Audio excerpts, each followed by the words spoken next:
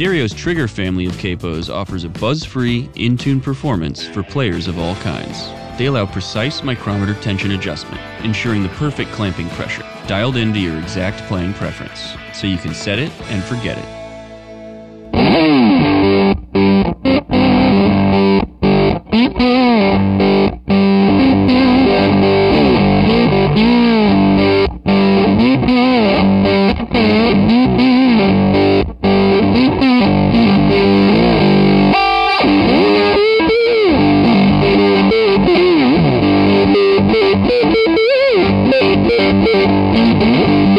Hey everybody,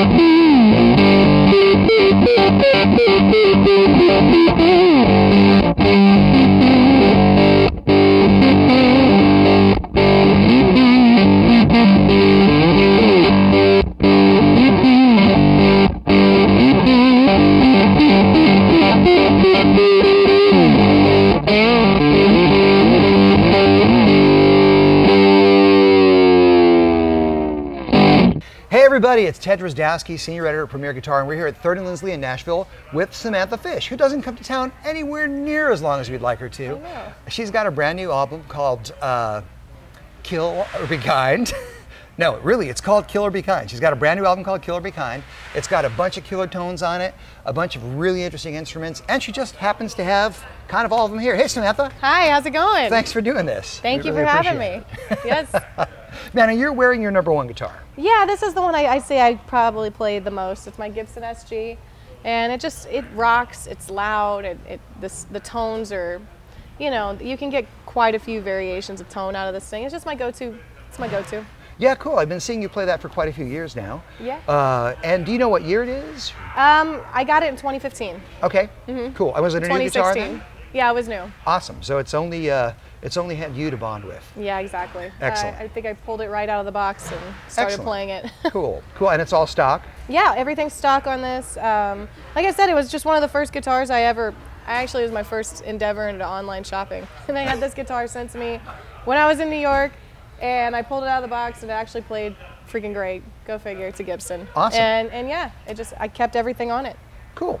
Yeah, it's beautiful. It's classic, you know. It Jimi. Hendrix had a white SG, so Yeah. it's just kind of cool to tread those waters. And you've got a bunch of other awesome guitars here on I stage. I do, I do. Let's take a look. There's a couple of Jaguars. You've got this really sparkly Danelectro, and I'm always attracted to sparkly guitars. I have no idea why. yes. I just I, I got that baritone um, a couple years ago, and this is the first time I'm actually going to play it on stage tonight. Um, but it's beautiful, you know. It's a sparkly baritone guitar. I, I like anything with with a weird sound or texture, anything that'll just make the show a little more diverse. Um, so that's kind of my you know thought process behind getting this guitar. I'm just glad I found a spot for it in the show. Well, and you're a real tone hunter on record too. Yeah. Has, has that appeared on your albums That as I, well? it did. It appeared on the last record, so I wanted to bring it out in the show. Excellent.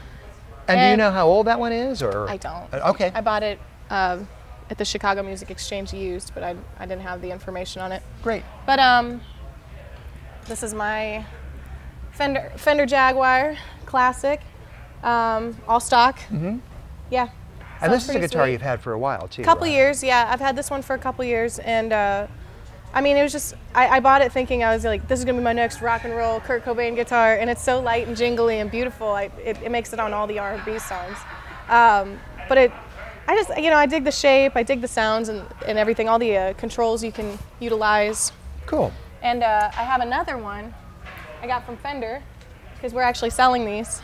These are Samantha Fish uh, on the website approved Ventura, Ventura, uh, you know, Nice. style Is, guitars. is that a signature model essentially, or No, it's not a signature model, but they, they came out with this Ventura series this year, and it's Mm-hmm. just classic looking guitars. And I've been playing the Jaguars a lot, um, so they gifted me this and a Telecaster. And I mean, it. I kind of like. I mean, this one's really nice, but I think I'm kind of favoring this one lately. Just the Does the neck have a slightly different profile? it feels a little bit different to me, but it, ju- it also just, I think because it's newer and it's a little more, the, the pickups are stylized to sound like vintage.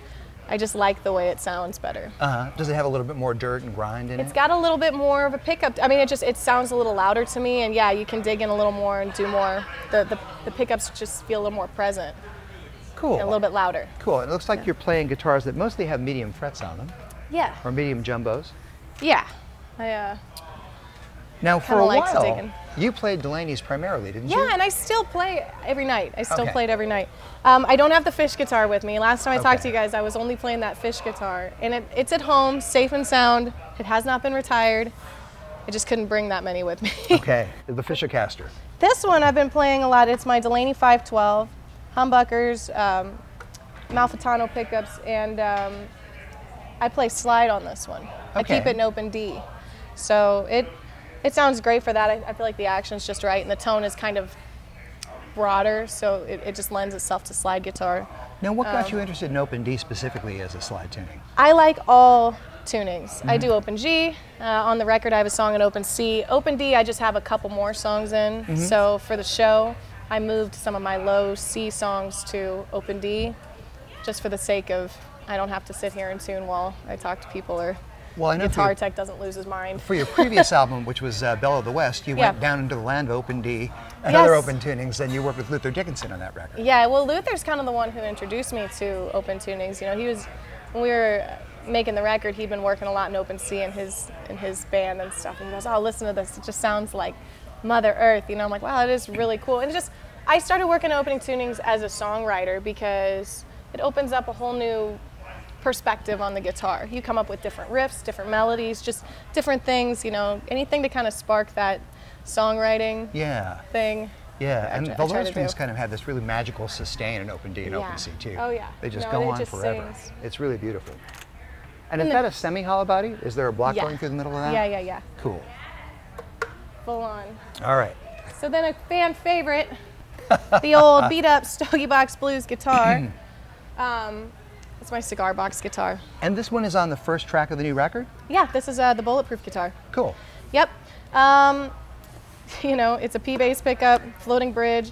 The thing is falling apart, but nothing else sounds like it. So when it breaks, so will my heart and my aspirations to play cigar box guitar anymore. So Ah. yeah, I just I dig this one. I've always liked the sound of it. Um, there's just something really mean and nasty in it. it it's got a great texture. And you've played some other, uh, you know, unconventional guitars too. I think you had an oil can guitar at one point, or yeah. a gas can. Yeah, yeah, I did. Yeah. I did, and I that one's also safely at home, not retired. It's just there because I don't have a spot for it in the show. Okay. You know, people started giving me all kinds of crazy guitars. I'm like, I don't know if I want to be that girl who just who plays the Yeah, kitchen the sink and guitars, the shovel guitar. You know, I, Yeah. maybe I should go for some normal ones for a minute. Have you seen the ones that Super Chikan down in Clarksdale made? Yeah, yeah, yeah, yeah. Those are a blast. His, my favorite is the one that's made out of the motor from an old ceiling fan.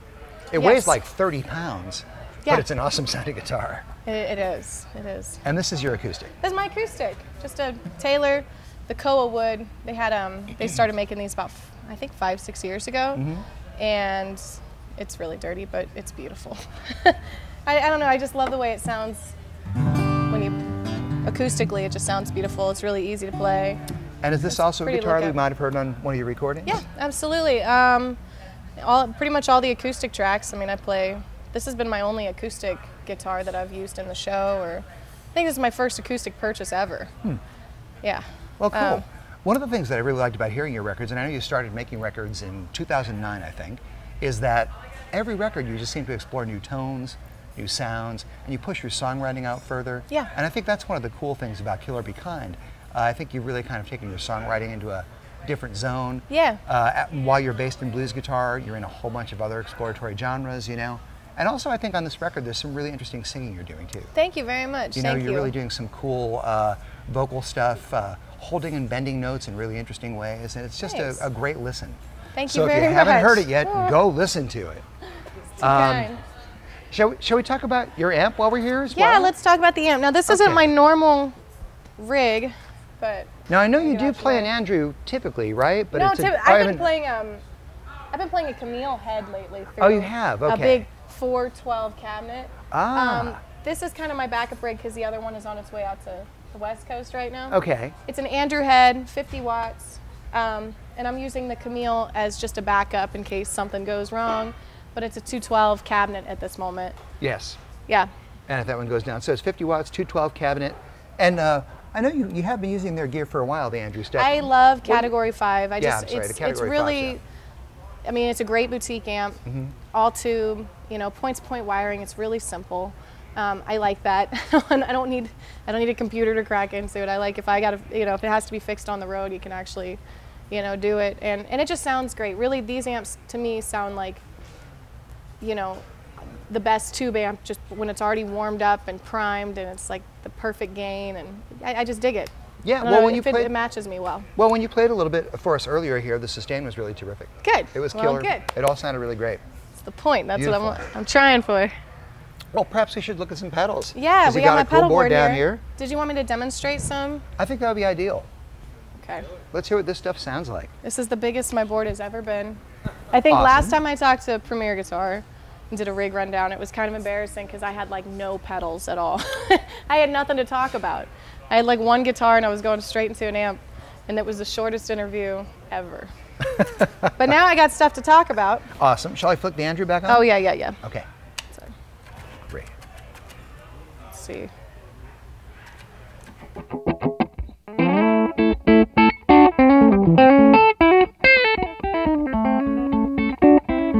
So clean, you know, it's pretty light and jangly. Um, uh, my main go-to pedal, I say the one I can't live without, Desert Island pedal. It's probably my Analog Man King of Tone, and it's old and it's beaten up. A friend of mine gave it to me. Um, and I, I was like, maybe I should just get another one because the uh, the red the red feature, which I think is the dirtier channel, doesn't actually work anymore. Uh-huh. So I thought about getting another one. Then I saw how much they're going for on eBay and how long the wait list is. I said, I'll make it work. so you go right into the volume pedal and then into the analog man first? oh yeah, yeah. I mean, I go through the volume pedal, um, and I, I just use that for just nuanced stuff for slide guitar and swells, and you know, the the volume pedal is probably actually my main go-to. I probably use that the most in the show. But as far as pedals go, Analog Man is pretty mean.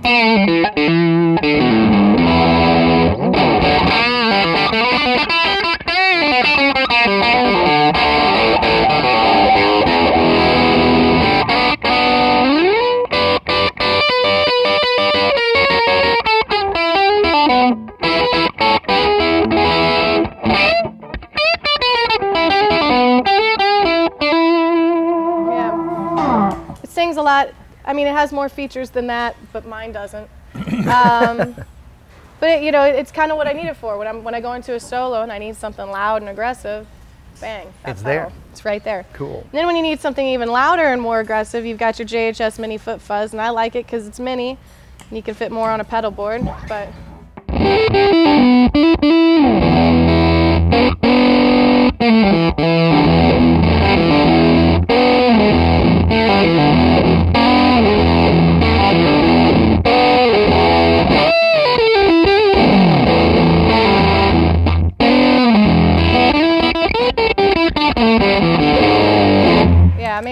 loud and aggressive. Now, is that the fuzz you used on um, Love Your Letters on the album? Love, yeah, yeah, love letters. I think I used it on Bulletproof. Yeah, that the solo on love letters. Yeah, it's got that I actually used that pedal a lot on the record. Okay. Surprisingly, with with all the solos, it just like I said, it, it gets a, it's the most aggressive. So in the studio, when you're looking for this wide range of sound, I tend to kind of throw everything at the wall when it comes to the solos. So Sounds So- like a good strategy to me.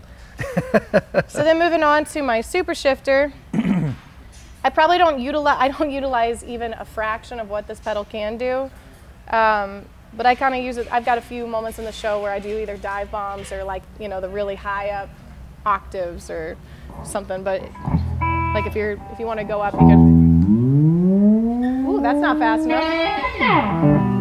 You can do it faster. Hang tight. That was that's like the slowest it's ever gone.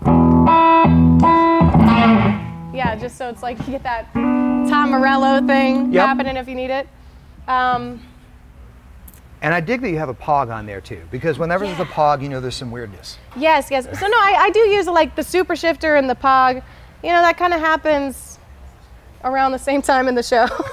uh, it's like that's the crazy maniac part of the show. But yeah, the pog is fun. You can you know get the octave up or sub octave or octave up.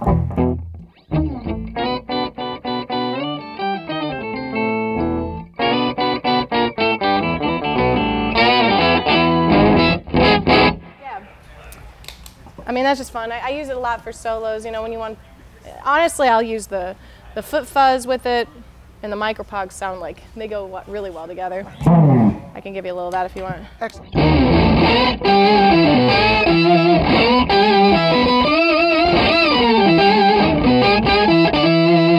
Yeah, pretty cool. Very cool. Then my carbon, the carbon copy uh, analog delay MXR. It's my favorite delay.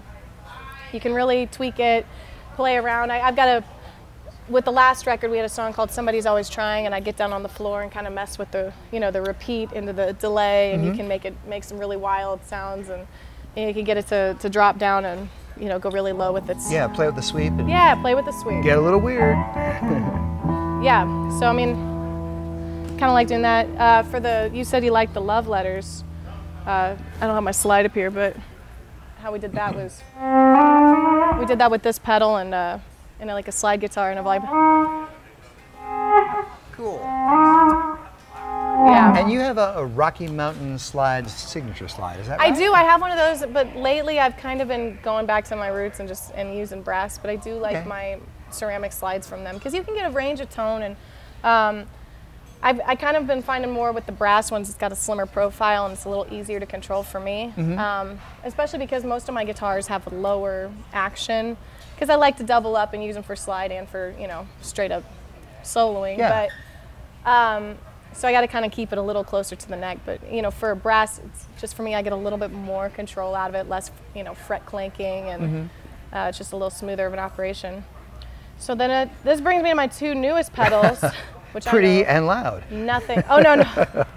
Oh, we're going this way. Okay. Yeah yeah. Yep. Sorry. We'll get to pretty and loud later. Forget all this. I don't want to this is this is barely being used. Oh, okay. Um, no, I mean the loud is for the loudest. Uh, you know, for my electric guitar. Pretty is for the acoustic guitar. Okay. I've got an LR Baggs uh, Paracoustic DI. That's for acoustic. You can kind of EQ out the wonky frequencies and play with it a bit.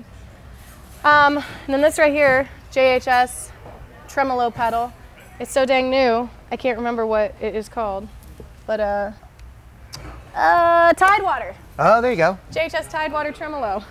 I just got it. This is also its debut tonight for the baritone guitar. Excellent. So you need a little tremolo for a baritone guitar.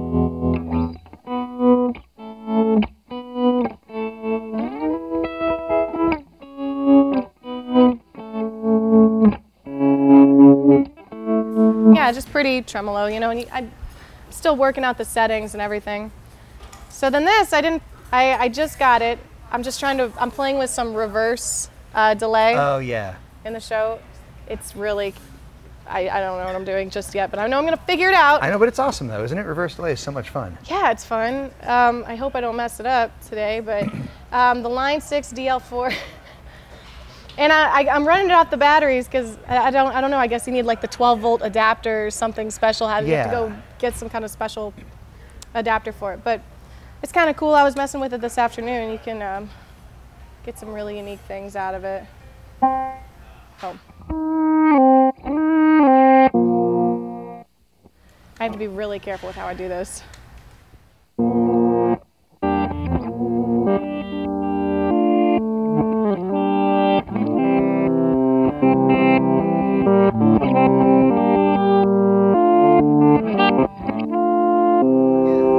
And they are instantly in Axis Bold as Love territory. Yeah, yeah, exactly.